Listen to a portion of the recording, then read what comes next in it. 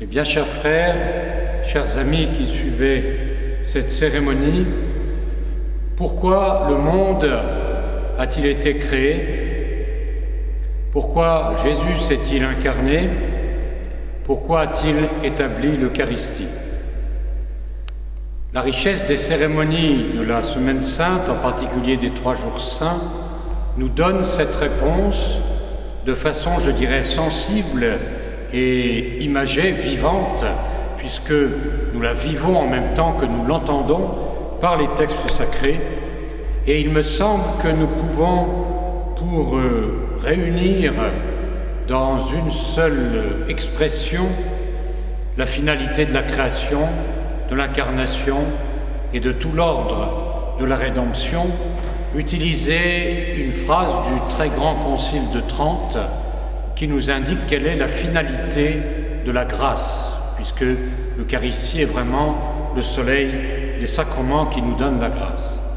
Et dans une expression que je trouve très, très convaincante, très puissante au point de vue contemplatif, puisque elle semble rayonner des trois facettes des dons du Saint-Esprit qui nous servent à regarder le, le message révélé, les dons de science, d'intelligence et de sagesse, le Concile de Trente nous dit que la finalité de la grâce, c'est, dans cet ordre-là, la gloire de Dieu et du Christ et la vie éternelle des élus. Si vous voulez, nous allons commencer dans l'autre sens, puisque c'est une démarche assez naturelle. Les théologiens nous disent c'est plutôt le don de science qui regarde vers le bas, vers le, vers le détail des choses et en regardant vers le bas, nous voyons nous, nous voyons notre existence et nous voyons que précisément, selon cette très forte expression, le but de la grâce et de toute la création qui la sous-tend, c'est notre vie éternelle, c'est la vie éternelle des élus.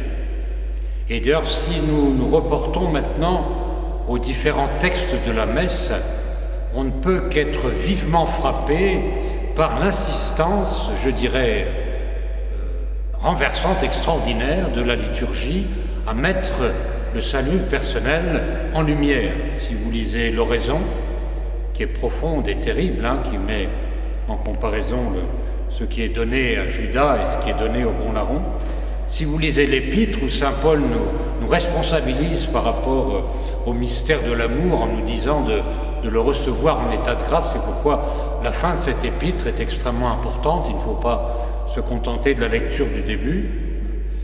Et puis l'évangile lui-même où Jésus dit à, Pierre qui n'est pas encore apte à rentrer dans la profondeur du mystère, écoute, si je ne te lave pas les pieds, tu n'auras pas de part avec moi et tu ne seras pas sauvé. Donc voyez ce premier aspect sous le regard du don de science qui euh, nous fait regarder tous ces mystères en, nous mettant en jeu. Nous sommes là dedans, nous, qu'est-ce qui se passe? Eh bien, nous renvoie à notre responsabilité. Oui, je crois que c'est très important de, se remettre en face de cette grande réalité. Nous portons dans notre cœur, dans nos mains, dans notre action, une éternité de, damnation ou bien euh, le poids éternel de la gloire qui sortira de nous en fonction de notre réponse d'amour à l'amour de Dieu. Et là, Saint Dominique peut nous aider puisque il est vraiment euh, le saint, on l'a caractérisé comme un savant qui pleure, vous voyez, le don de science le fait pleurer sur le salut éternel et nous pouvons demander aux prêtres, à nos frères prêtres, dont c'est la fête euh, spéciale aujourd'hui, d'être angoissés pour le salut des âmes et de porter sur leurs fidèles et sur leur propre âme ce regard de science qui nous fait peser les choses dans la lumière de l'éternité, avec le poids de l'éternité, et qui nous montre aussi notre grandeur, puisque nous engageons une éternité heureuse ou malheureuse. Donc d'abord, la vie éternelle, d'abord, enfin, troisième dans la phrase du Concile de Trente, mais pédagogiquement, nous rentrons par là dans le mystère, la vie éternelle des élus. Et puis ensuite, le Concile de Trente nous dit la gloire du Christ. Là, évidemment, c'est plutôt, me semble-t-il, le don d'intelligence qui, était le propre de Catherine de Sienne, par exemple, une des saintes dominicaines qui a illustré ce don de pénétration, de, simple regard sur, la révélation, d'écoute profonde de la parole, sans soi-même forcément dire quelque chose. Et on peut dire que la liturgie est, je dirais, comme une pédagogie, comme une introduction sensible ce don d'intelligence, selon précisément ce qu'aussi rappelle dans d'autres textes au Concile de Trente et, d'autres textes du magistère, la, liturgie, comme nous sommes sensibles, nous, nous introduit par notre corps à, des mystères qui nourrissent notre âme.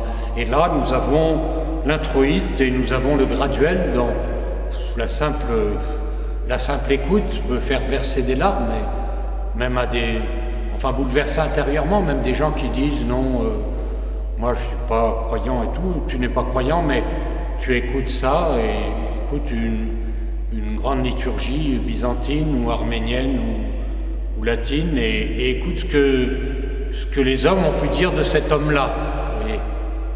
Et, de fait, nous devons renouveler, nous chrétiens, et, et puis ceux qui culturellement ont gardé quand même quelque chose de cet héritage chrétien, renouveler un regard de stupéfaction sur le Christ qui est vraiment le centre de, forcément de toute la liturgie, puisque c'est lui qui va s'offrir mystiquement tout de suite dans la Sainte Messe à la suite de l'institution de l'Eucharistie et qui s'offrira jusqu'à la fin des temps. Et il se présente aux hommes comme personne ne s'est jamais présenté, ce qui est un très fort argument de crédibilité. il est le seul Dieu euh, humilié de l'histoire. Il n'y a pas d'autre Dieu humilié. Le seul homme de bon sens qui euh, a accepté de, démolir l'absurde et le mal en le prenant sur lui. Donc en, chantant notre introïte, en relisant notre graduel, euh, nous sommes bercés par ce mystère sur lequel on ne peut rien dire. Enfin, je suis en train d'essayer de vous dire quelque chose, mais c'est plutôt cet esprit dans votre âme qui, qui complète, qui, qui fait rentrer dans notre cœur, et puis peut-être l'année prochaine, ça rentrera plus avant, et puis ainsi de suite jusqu'au contact définitif de la sagesse où nous verrons le Christ. Mais vraiment la gloire du Christ, parce que la vie éternelle des élus, c'est sa gloire à lui. Il le, dit souvent dans de très beaux textes, et en particulier dans ce que nous avons lu tout à l'heure à table, le grand, euh, le grand discours du Seigneur du chapitre 13 à 17 de Saint Jean. Hein, c'est vraiment euh, par la gloire du Christ que, que le salut éternel est procuré et notre et la gloire du Christ, c'est de donner des fils à son Père. Donc, euh, regardons dans ce deuxième euh, écho, dans cette deuxième note d'une symphonie à, trois, à trois dominantes, vous voyez, le, don d'intelligence qui nous fait regarder le, la gloire du Christ et, et puis les élus qui, qui, rayonnent autour de lui. Et cette gloire du Christ qui est vraiment, euh, qui est vraiment passion, résurrection. Vous voyez, même dans l'oraison, déjà, on, on mentionne la mystérieuse résurrection qui, va aussi être sur l'autel tout à l'heure après la consécration. Donc, euh, troisième perspective, maintenant la gloire de Dieu. Tout cela pourquoi? Pour la gloire de Dieu. La gloire de Dieu dit un texte célèbre d'un père de l'Église qu'il faut citer intégralement, hein, c'est Saint Irénée, je crois. La gloire de Dieu, c'est l'homme vivant, mais la vie de Dieu, c'est la vie de l'homme, c'est la vision de Dieu.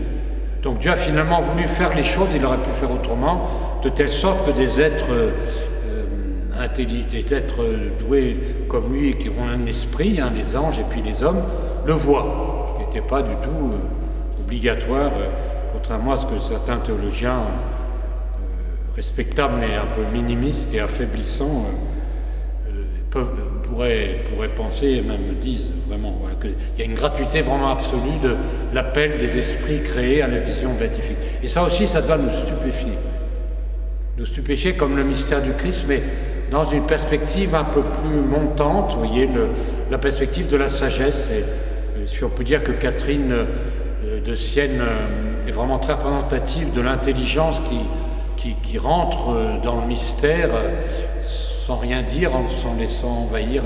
C'est Thomas d'Aquin qui va nous donner tout à l'heure les strophes que nous allons chanter, qui, qui nous donne, je dirais, la musique une des musiques possibles, enfin moi pour nous latin, et pour tout le monde, ce qui est le docteur commun, euh, de, de don de sagesse euh, au travers de l'Eucharistie. Certes, nous devons être angoissés du salut des âmes, Certes, nous devons demander la grâce de, de regarder sans cesse le Christ, celui qui, qui est sur les grandes coupoles byzantines, la, figure du Christ, au haut, je suis, c'est un être humain, mais il est, il est Dieu. Mais tout cela, pourquoi? Eh bien pour la sagesse, voyez, pour le fait que nous serons réunis dans la vision de Dieu, et là, le, le regard de sagesse prend toute son ampleur parce que c'est la vision finale, mais c'est une vision finale qui ne laisse rien en arrière. C'est-à-dire que tout le temps va y passer, vous voyez. Bien sûr, nous verrons Dieu, mais comme nous le disait récemment le Père Bonino dans la retraite que nous écoutons, euh, dans les éléments accidentels, mais enfin accidentel, ça ne veut pas dire ridicule, hein. il y a quand même la résurrection des corps, il y a la sensibilité, il y a l'amitié, il y a toute la cour des élus, et puis il y a tout le temps qui basculera, le temps divinisé que l'Eucharistie aura fait basculer dans l'éternité. Euh, vous savez, les pères disent l'Eucharistie qu'on donne aux mourants, c'est le pharmacum, euh, vraiment le, remède. Hein, de, l'éternité.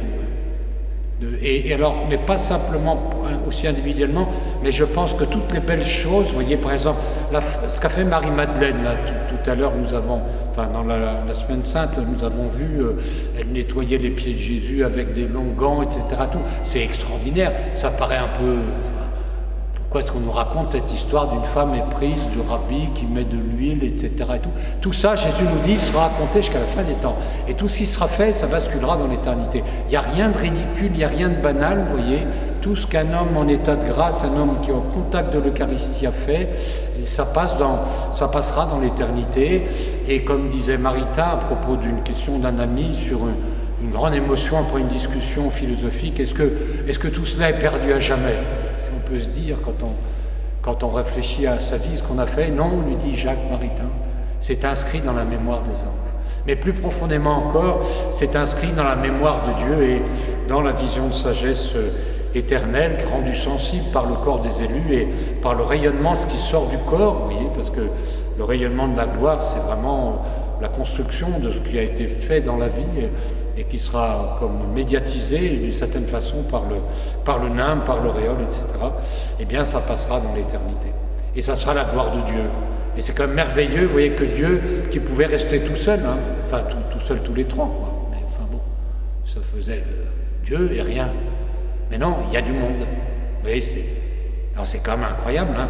ce que c'est Chesterton qui dit, au fond, Thomas n'est jamais revenu du fait que Dieu a créé et créer des, pierres, des cailloux, des, oiseaux, des, plantes, puis des hommes et des anges.